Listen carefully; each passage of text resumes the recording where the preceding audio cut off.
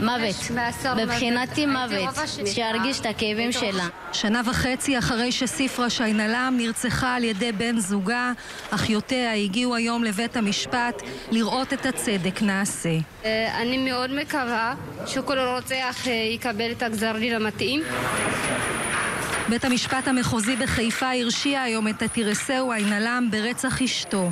על פי כתב האישום, בעשרה ביוני בשנה שעברה, החליט התירסאו להרוג את אשתו.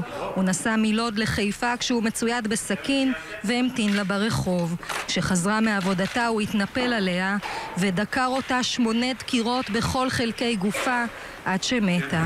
הסתכלתי ככה ואני רואה אותו דוקר אותה.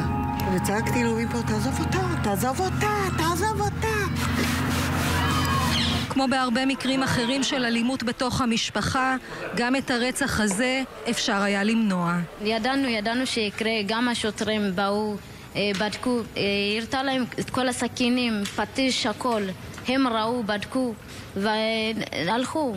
היה ברור, היה ברור, הייתה אפשרות להציל אותה. התירסאו לא אמר היום דבר בבית המשפט, הוא הסתיר את פניו.